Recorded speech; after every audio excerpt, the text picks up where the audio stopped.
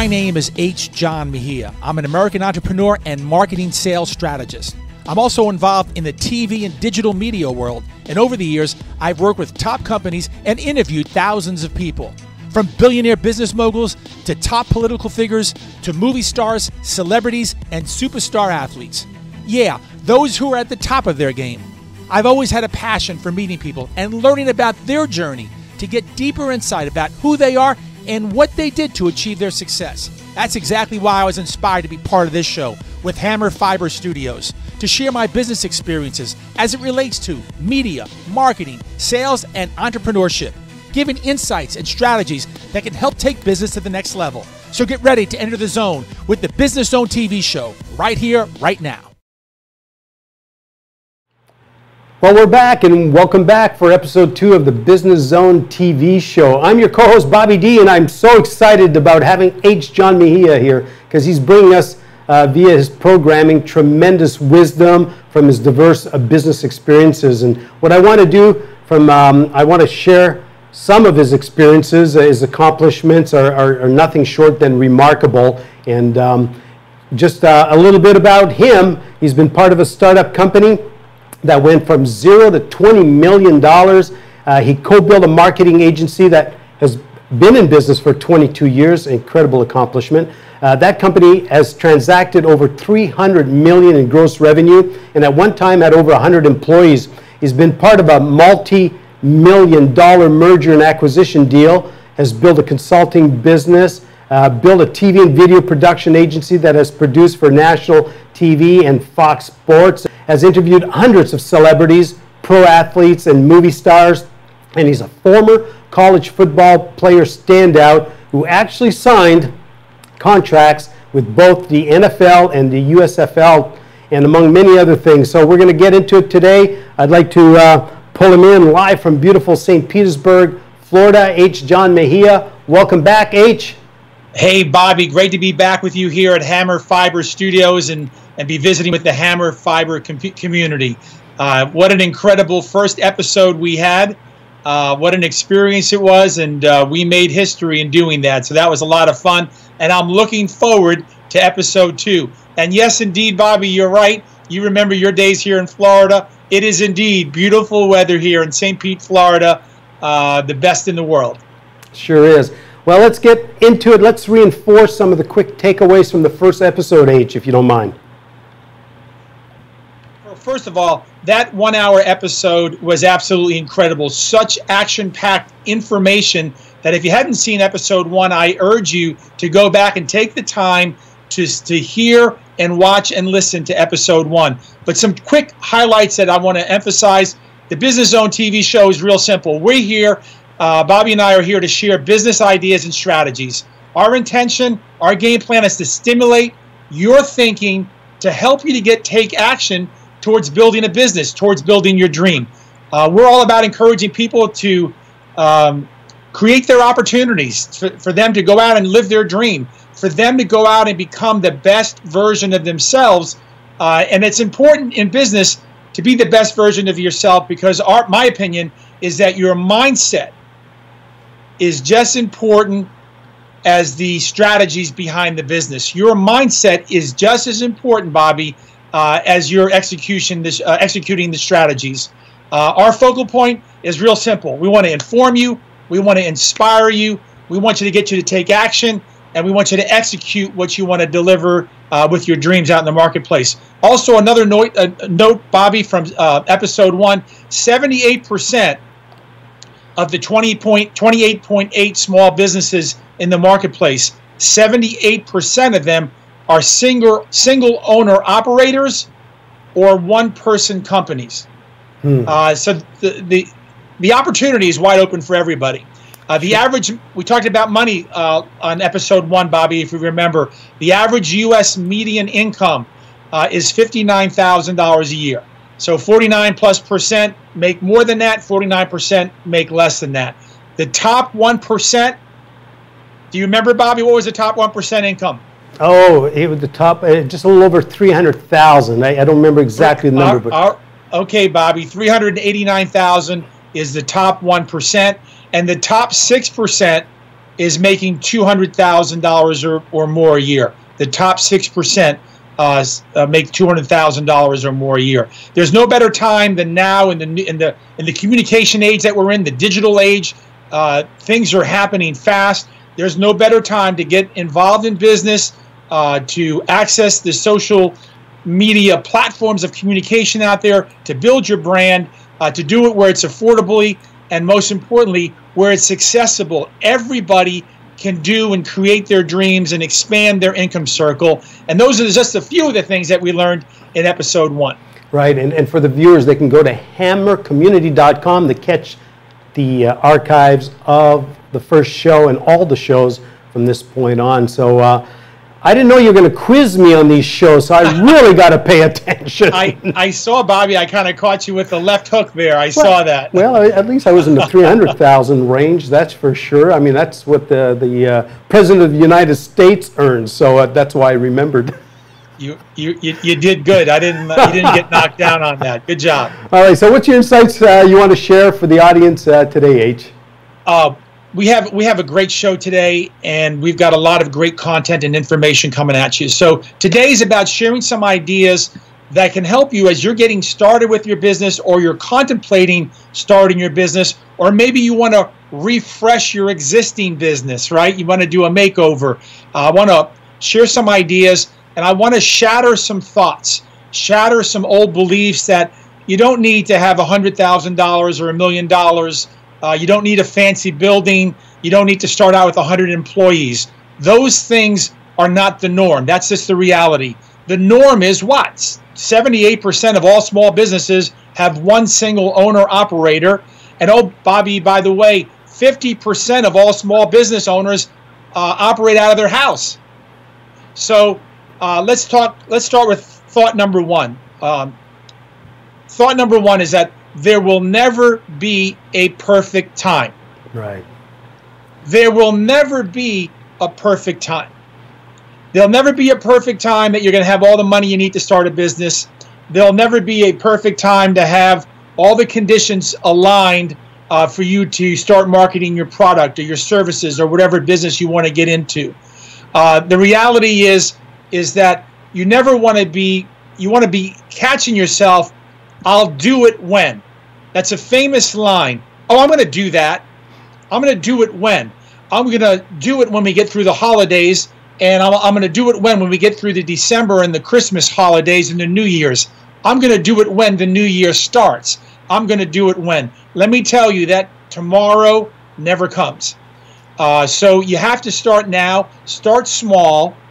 Uh, you can take action, and even if you commit to doing something. This is a strategy. This is one of the most powerful things I can share, Bobby, is that even if you start by allocating 10 minutes a day for you to sit down and take the focused time and attention to start planning, start thinking, uh, start getting excited about what you want to do, what type of business you're, you're in, uh, want to get in, or if you're an existing business, if you just took 10 minutes a day you can start moving towards that dream of building your own business. Um, you know, it's I recollect back with the different various companies that I've started, uh, Bobby. My production, my TV video production agency that I started officially, I think in 2002. I built that company from scratch while I was running other companies, running other companies full time. So remember, in the evening, you have opportunities to get away from the TV set and take time, hours. You have hours in the, at nighttime to do some work, uh, and you can commit to building your dream. Um, you can figure out what you need to do, what you want to do, how you want to monetize it, what product, what service you want to do, and uh, just watch less TV. You can start building your dream. Mm. Um, idea strategy number two, Bobby, is take a simple idea, a simple idea to get started a lot of times um, you might come up with an idea. Let's say you and I are brainstorming. The idea might be so simple that you say, ah, that's not good enough. Right. It's not fancy enough, right? It's not high tech enough. But guess what?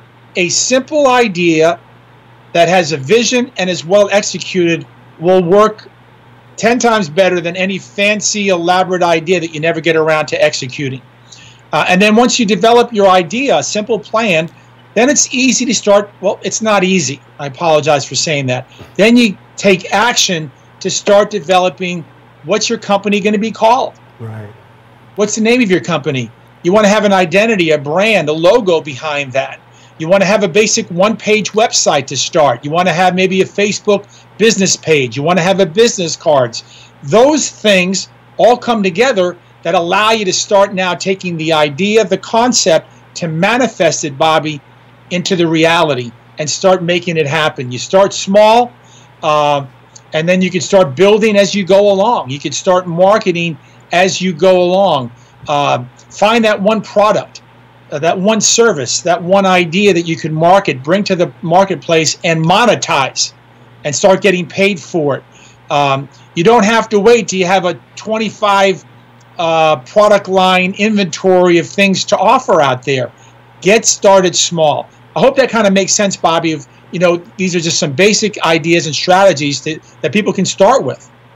No, no, it makes a lot of sense. But you know what? You corrected yourself on saying it's not easy, but when you're passionate about something, H, it is easier, isn't it? I mean, it cuts through the adversity in style, I think. You, you, know, you, you, you know, think about it.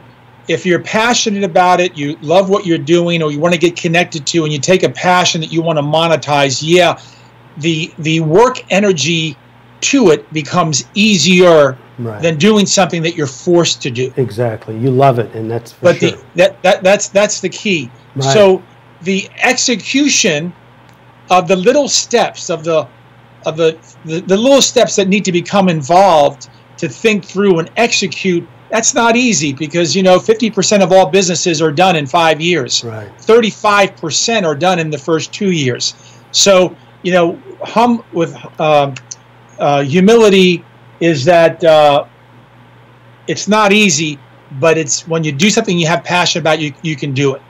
Um, you don't need a million dollars. Another idea. You don't need to have the big funding. You don't need to have a hundred thousand dollars. You can start on a shoestring budget. You could start in a home office, Bobby. Uh, you could have a little bit of mo- money set aside to do some marketing to get your exposure and get attention. But today, in the media platforms that we're on, you could do it so cost effectively and so targeted that, you know, I come from a TV background where, you know, you have to spend you know TV, radio, advertising, ten thousand dollars a month to get brand exposure.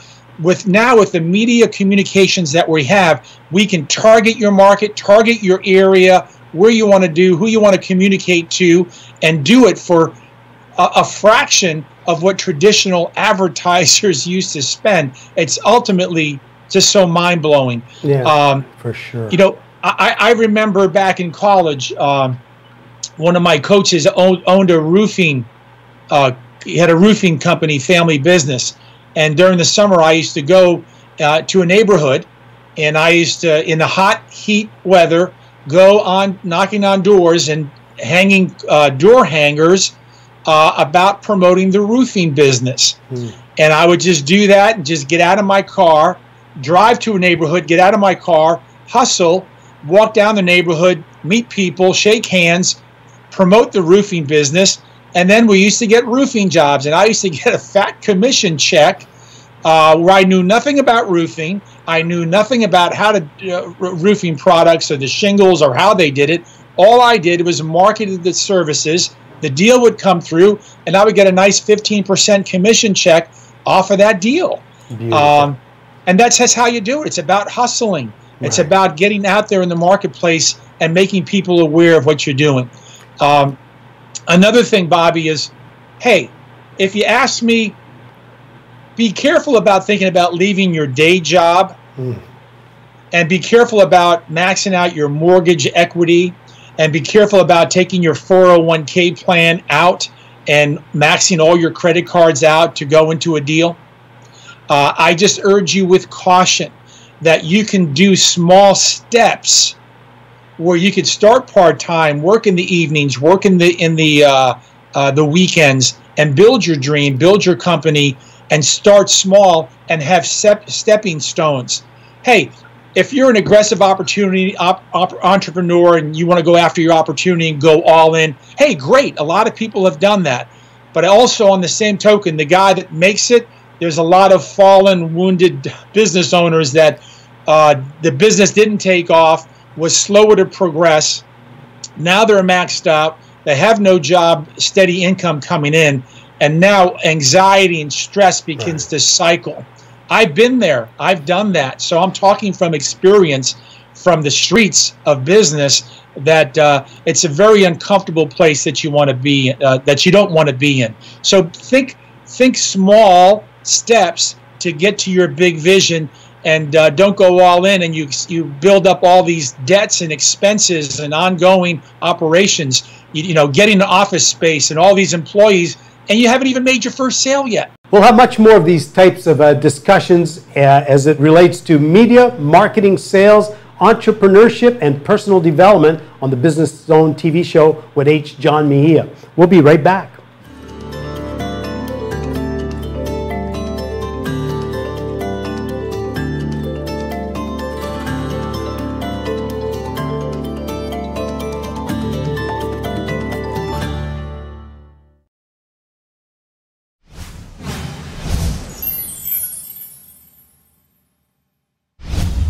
Known as one of the country's top sales and marketing experts, entrepreneur, speaker, and TV personality H. John Mejia is the driving force behind In the Zone TV, Capital Marketing Concepts, and the Good Life Tampa Bay TV show. Headquartered in beautiful downtown St. Petersburg, Florida, H has advised and counseled hundreds of small and medium sized businesses, including many Fortune 1000 companies. H's sales, marketing, TV, and entrepreneurial expertise comes from more than 20 years of learning, applying, and honing cutting edge strategies that produce high impact results. During his career, he has helped companies generate over $1 billion in new and incremental sales revenue. An overachiever all his life, H always brings his A game of ideas, products, and passion to help clients break through to get their sales to the next level. Isn't it time for you to team up with H. John Mejia and allow him to help you produce the results you are looking for? Call now for a free consultation and let H show you how his proven and guaranteed strategies can help you increase sales to the next level.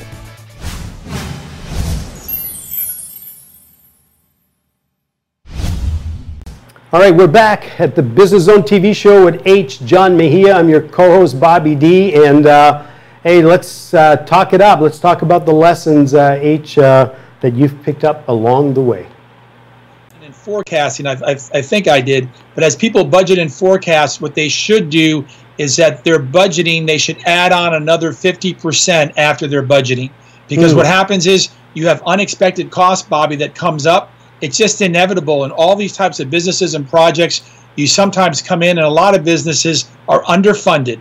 Uh, so you have to add an extra 50% would be a good rule of thumb when you do your detailed budgeting and forecast, and then you add 50% to your expense budget so you get yourself properly um, situated. Also, you can go to a bank and get funding. Uh, it can be challenging because oftentimes as a new business, think about it, the bank is not uh, in the business of making high risk loans, right? Mm. And typically a new business startup can be uh, determined to be high risk. Uh, a lot of times you'll need to do what's called sign a personal guarantee. You might have a company that you started, you might be an S Corp, you might be an LLC that you form, uh, because when you form a business, you basically give a new life, a protection uh, from yourself personally. But the reality is, a lot of times the bank says, "Hey, listen, the, the company has no assets, no no uh, receivables. We're going to have to ask you, Bobby, to sign personally to guarantee this loan for your business, and that's going to be your call with what mm. you do and how you do it." Um, other sources for uh, funding, you can go to to family and friends, uh, associates out in the marketplace, but you need to be careful with that. Uh, you need to know uh, are you going to give up a percentage? Are they going to make an investment in your dream and your opportunity? And they're going to want a percentage of the deal? Mm. Uh, now you have partners that you have to be responsible for. Uh, or now are you, in essence, doing a loan, uh, a loan to them? And then what happens if the deal goes bad? It's happened. That's the reality. And all of a sudden, then you get people that are upset and disappointed. And then guess what? on your next deal and the third deal, guess what? You you you don't you don't have any access to go back on the next next round for budgeting for financing when that happens. So those are things to think about in terms of ramifications. Right. We talked about you don't need to get an office space or fancy buildings. Uh, Bobby, 50% of all small businesses operate out of the founder's home. Uh, there are locations, there are locations you can go and get what's called shared office space. Right. You can go in and get your reduction of rent dramatically. Instead of taking over a 2,000 square foot facility, you can share office space and reduce your investment. Or, Bobby, did you realize there's also places you can get just to have your mailing address? You can pay a fee to have your mailing business address into a nice corporate center and give the appearance of, you know, of, of being uh, a business a little bit bigger than what you are in starting out. So those are some ideas that are out there. Uh, you know, you have to keep asking and searching for solutions. The the ideas the ideas and strategies are out there, but when you get on your journey as an entrepreneur, you keep searching and it's like a little seed. You're going to plant a little seed in the ground and you need to keep nurturing it and growing it and expanding that for it to grow strong and healthy. And that's the, the analogy of a business. Uh, it takes a lot of patience and a lot of activities let's talk about some low uh, cost marketing initiatives, Bobby. You, you can get out there and go old school, do some guerrilla marketing right out of the trunk of your car. You can give away samples. You can network. You can go to meetings. You can get ref, uh, referrals. You can give uh, from the people you give samples to. Get initial orders. Uh, you can design a simple PowerPoint presentation to to give um, to, to prospective clients on who you are and what you're doing and what the vision is and how the product you have the service you have uh, uh, provides a solution. Um, also, be prepared when you start your business, Bobby. You got to be able to do it all. You're going to be the CEO, the sales uh, vice president. You're going to be the marketing director. You're going to wear you're going to wear those different hats above right. behind you. Yeah. Uh, you're going to do it all, and you're going to do billing. You're going to do invoicing, and that's how you can start in getting the traction to build your business. So uh, that's all the things that entrepreneurs are willing to do. So don't come into the business and think you're too big and too proud to pick up things or do things because you know what? You need to be able to be do do it all, and then you duplicate yourself accordingly. Uh, it's so imperative to make that first sale, to get that first traction, to make that transaction, get that first customer. That's so important in getting sales uh, of your product and services to the marketplace. Uh, there's nothing more powerful to develop your clients and they can become influencers for your business, Bobby. Those clients can help you build more clients. Uh, and it starts that small fire.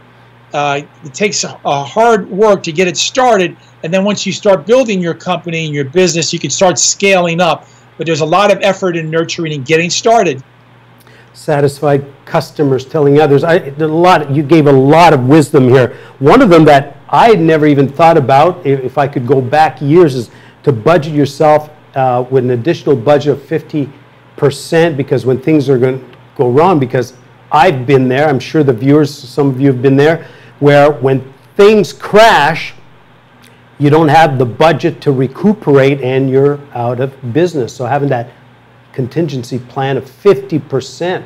That's brilliant advice. I like the, uh, the advice you've been sharing about the, the business centers to keep the overhead down, to you know give a, a better business image and, and whatnot. So this is loaded, H.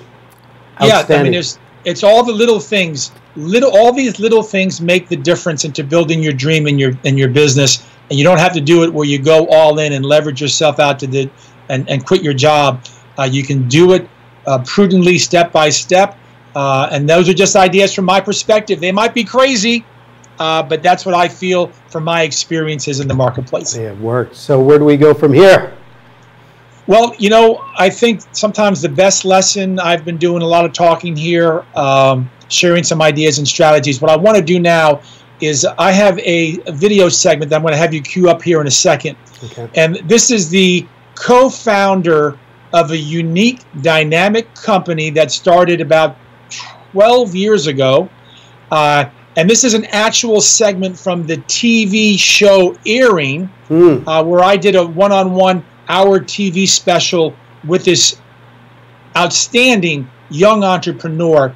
And I'm going to give you about a 10 minute video clip that I want you to listen to and watch and here watch a, a young man that's built a company into a 75 million dollar plus a year company wow. with over 100 franchisee owners around the country uh, i'm so impressed with this young man and uh, uh, why don't you just go ahead and cue it up bobby and let's go ahead and roll that video and show the audience here uh, this interesting Talk about an uh, American success story and someone living the dream.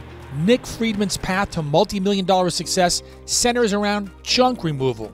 That's right, over 12 years ago, he co founded College Hunks Hauling Junk and Moving Company and has grown that company into a dominant national franchise with over 100 franchisees across the country and are headquartered in beautiful Tampa, Florida. Nick's resume of accomplishments is a long one. He has been named among the top 30 entrepreneurs in America under 30 by Inc. magazine a two time Ernst & Young Entrepreneur of the Year award finalist, and he's also been named one of the top 35 entrepreneurs under 35. He has appeared on The Oprah Winfrey Show, ABC's Shark Tank, Bravo's Millionaire Matchmaker, The Pitch, and on CNBC's Blue Collar Millionaires, among many others. Nick, along with his business partner Omar Soliman, wrote the best selling book, Effortless Entrepreneur Work Smart, Play Hard, Make Millions. They have been featured on the Wall Street Journal, Fast Company Magazine, USA Today, Entrepreneur Magazine, CNN, and Newsweek, among others. And guess what? On top of that, Nick is a dynamic speaker and shares his knowledge at business conferences across the country. They were featured in a Newsweek article, College Kid to Millionaire, which also included the founders of Facebook, FedEx, Dell Computers, Google, and Microsoft. This success story all started back in the spring of 2004 as Nick and Omar entered a business plan competition with a concept centered around junk removal. While other junk services had poor appearances and were local, they had a vision of a fully branded, clean appearance and a scalable national franchise. Guess what? They won the competition and the $10,000 prize, and their American business dream started to become a reality. I first interviewed Nick back in 2010, and I was so happy to catch up with him again. And man, they've accomplished so much in building this multi million dollar national business. And guess what? Nick even has bigger plans for the future. Hey, Nick, thanks so much for having us here at your office. The energy here is absolutely electric. We have a lot to talk about, so let's get started. Let's go back in time 2004, that business plan concept. Tell us about the business plan and why was it geared towards hauling junk removal business? So we were actually going into our senior year of college. We were home in Washington, D.C., which is where we were originally from. Uh, my buddy and I from high school, Omar Soliman and I, we were home for summer vacation just trying to figure out what we were going to do. And his mom had this beat up cargo van from her furniture store. So she said, you know, listen guys, you're not going to just sit around the pool all summer. Go out and do something with this cargo van. So we're sitting around the table trying to think about what is it that we could do. And we didn't have a lot of technical skills. So we said, you know, why don't we haul people's junk away and charge them a fee? For Whose idea was it? Yours or Omar's? Uh, honestly, I think it was Omar's idea initially. And then his mom actually uh, threw out the name College Hunks Will Haul Your Junk. And we all kind of busted out laughing. And then we like kind of looked at each other. We are like, well, that's actually got a kind of catchy ring to it. So we shortened it to College Hunks Hauling Junk, put it on computer printout flyers, and just started sticking it around the mailboxes in neighborhoods people had the need for the service. They thought the name was catchy. And so that was really the light bulb for us was, wow, this could be an actual opportunity here. Well, talk about the brand, college, you know, your, your trucks, your logo, your colors, your brand, your identity. That's been a big part of your success or, or part of your success. Talk about that. And as was there any kind of wavering moments of moving away from the brand and changing it? You know, our, so our brand has really been a key piece of our growth over the years, and it's what I like to call uh, a, a refer to a book that was really influential to us called The Purple Cow. The idea is if you're driving down a country road and you see a big field of brown cows, you're just going to keep driving because you've seen it before. But if there's a purple cow, it stands out because it's different, it's unique, it's remarkable. So the name, you know, is kind of a pattern interrupt. It makes people think, well, that's not really what I would typically associate with a junk hauling or moving company. The colors are bright orange and green. You can't miss the trucks wherever they drive by. And then to make sure that we back it up is we try to provide a memorable and, and positive experience and service for the customer. So it's not just about the sizzle uh, of the name and the colors, but the actual you know, service experiences as well. And yeah, there was a time over the years, you know, where we started to question, you know, is it too quirky or is it too gimmicky? Uh, you know, do we need to kind of go with something a little bit more mainstream? And people would ask us questions like, hey, you know, are they all really hunks? You know, are they all really in college? And you kind of, you know, get a little bit tired of answering those questions. So that's why we would start to question it. But ultimately, we realized that, you know, the brand is what really sets us apart from the other companies. We actually came up with an acronym for hunks. We say it stands for honest, uniformed, nice, knowledgeable service. So it's more than just, you know, physical looks or, or brawn. It's about, you know, the overall service experience that, that our guys are, are providing when they go out to haul people's stuff away or move people's furniture. And that really has been the key to our success over the years. I, remember watching a show a few years ago. Actually, you, you guys have been obviously noticed on many different shows. There was one show that was when you guys were expanding into the moving, complementing your hauling junk business. I think the agency was recommending a different name, a different company. They were pitching you on that. But how did you guys stay true to adding just the moving, which I think is brilliant? But talk a little bit about that. Yeah, so we actually appeared on a show called The Pitch. It was on AMC, and it was uh, featuring companies that were looking for marketing or branding advice. And at the time, we were adding moving services on top of our junk removal services. And there was some concern about whether the, the name College Hunks Hauling Junk uh, would create some confusion or perhaps would be uh, a turnoff for people when it comes to moving their personal belongings because it's one thing to have your junk hauled away, it's another thing to have your stuff moved. And so we had the, the ad agencies uh, make some recommendations and a few of them recommended that we actually rebrand the moving side of the business. We considered it. Uh, ultimately, we decided that it was you know a risk we weren't willing to take. We felt like there was already market adoption of the College Hunks brand. Uh, so we kind of just added and moving to our already long name, uh, which again, you know, isn't ideal, but it works. You know, our, our, we have over now 100 franchises around the country. Uh, the customers still love our, our brand and our service. Uh, so, you know, any second thoughts that we've had, we sort of put those to rest. And now we said, you know, we're just going to double down and, and focus in on college hunks, hauling junk, and moving now. Beautiful. I know. I love it. I saw that because I remember I was watching that show and I was like, and I watched maybe a year later. I saw, oh, they added on the moving aspect of it and maintained the brand integrity, which I think obviously is a, is a great move. Uh, talk about back in the day, out of college, you guys got good jobs. Both you and Omar, you, you got good paying jobs. You were consultants or in a, in a business.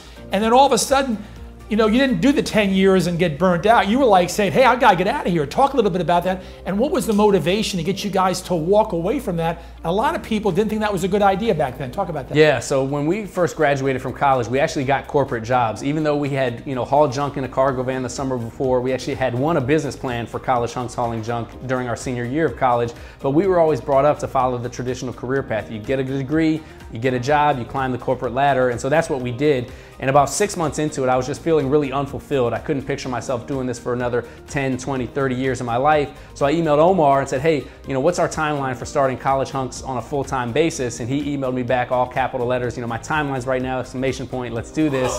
and uh, so we quit our job. Were you thinking now too, or were you thinking maybe six months from now when you You know, I was just thinking, you know, hey, you know, are, are, are, are you up for this, you know, challenge? Because I'm, I'm starting to feel kind of antsy behind this desk and in this cubicle.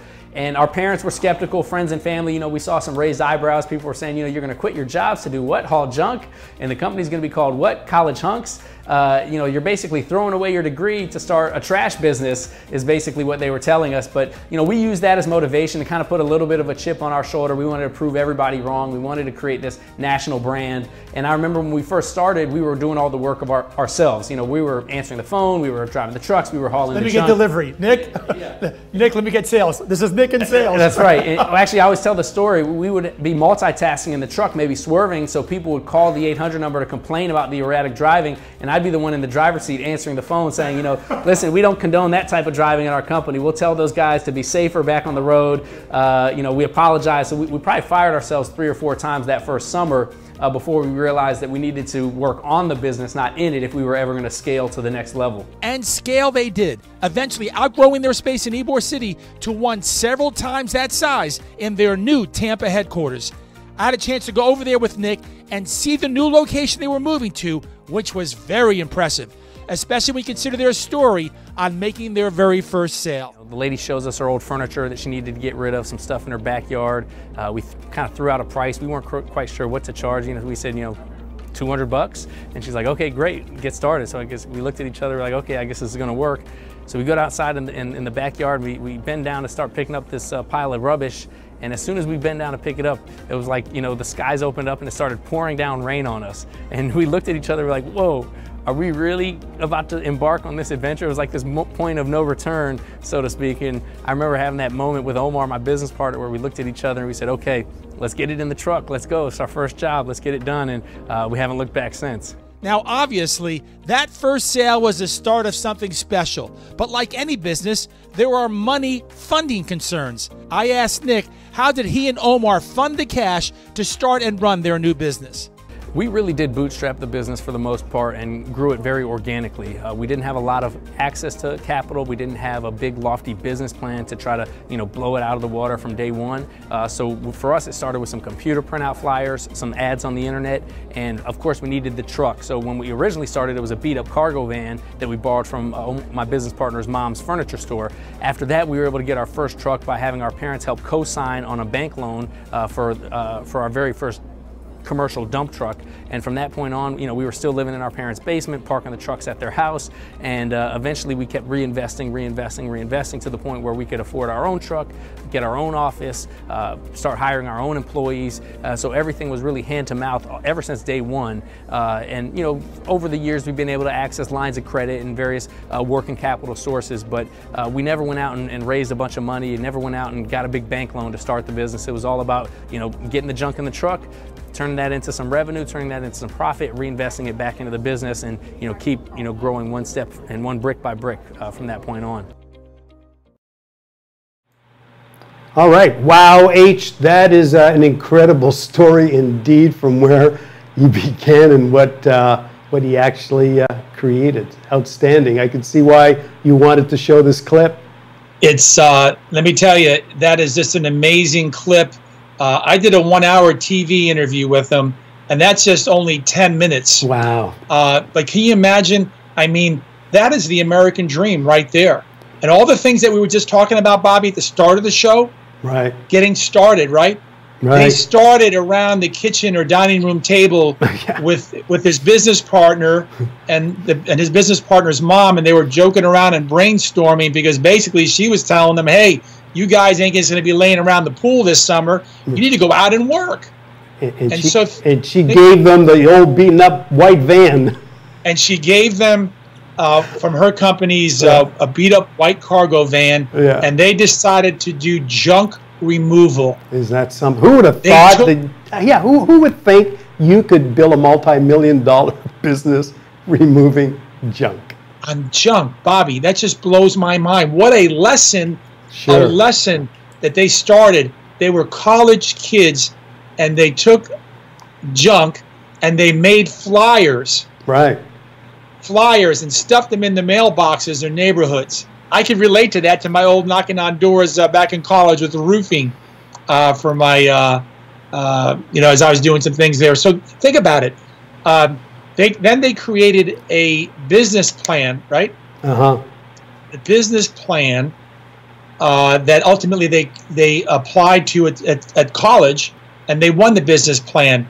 And oh, and also what was cool, initially when the mother had these ideas, she's the one the the partners uh, Nick's partner's mother.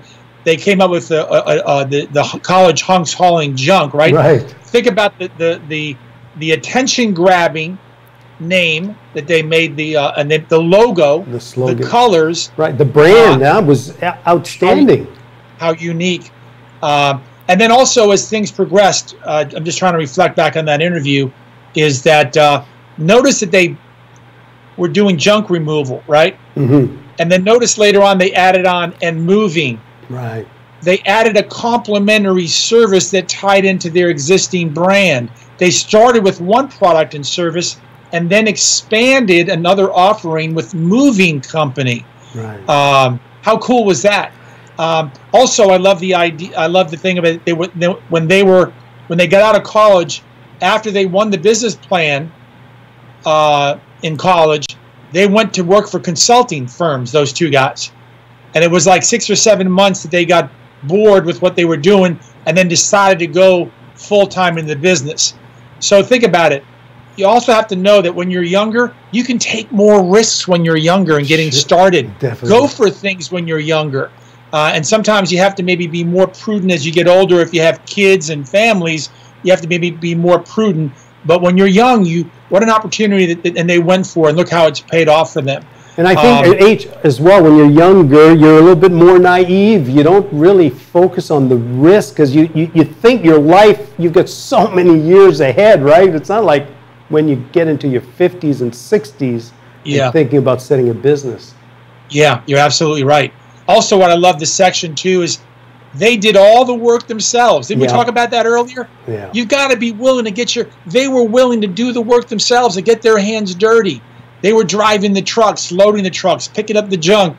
I, I love this story when he's getting a complaint on the driving, and uh, he's the one driving. He's getting the phone call. Right. Uh, but that's the thing is, it's, it's about doing everything and anything to be successful, and that comes from the fire from within, the passion for building something.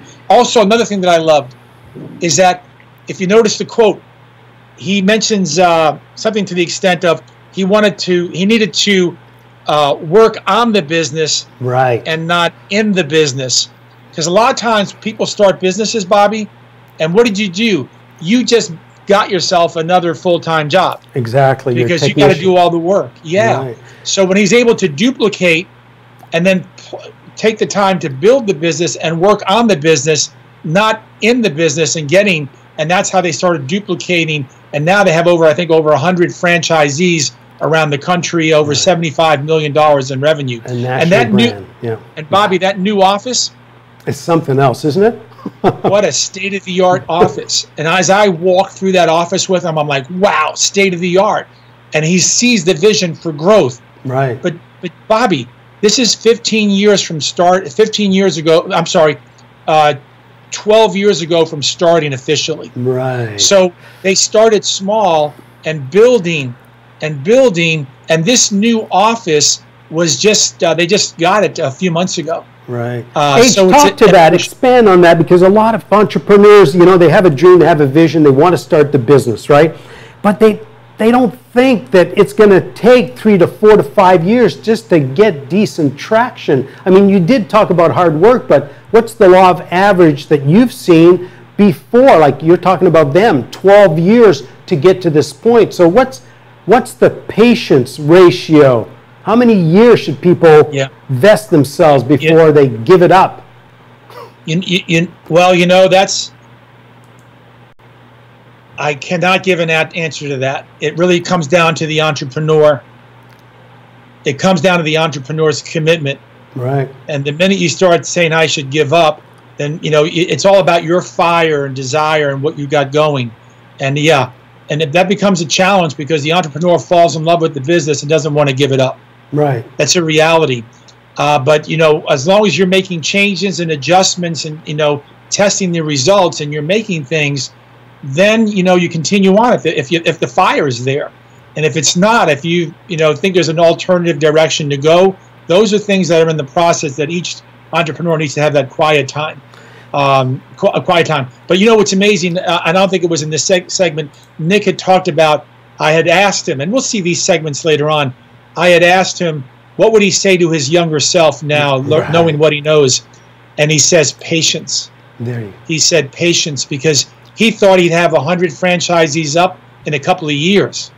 Right. You nice. see, you think it's going to be fast and accelerate. Get it, you know, you, you, people think that they need to, need to go out and get an office like that to start their business. the reality is, start small, stepping stones. Um, we talked about ideas for your office space, your home office. Start out of your garage, your basement. Uh, you know, you can build up gradually. Uh, I love the story on that first sale. Yes. Uh, and, if, and, if, you recall, when they made that first sale for two hundred dollars to remove the junk, and then the storm opened up like it was a um, uh, reinforcing that they were just getting ready to start a, a journey, and that's where it started. Yeah. They picked up that they made that first sale from a flyer in a mailbox, that two hundred dollars sale, and they were on that first step towards that journey of a seventy-five million dollar a year company. And let me tell you, these guys, uh, Omar and Nick, these guys rock and roll, and the best is yet to come for these guys and their growth.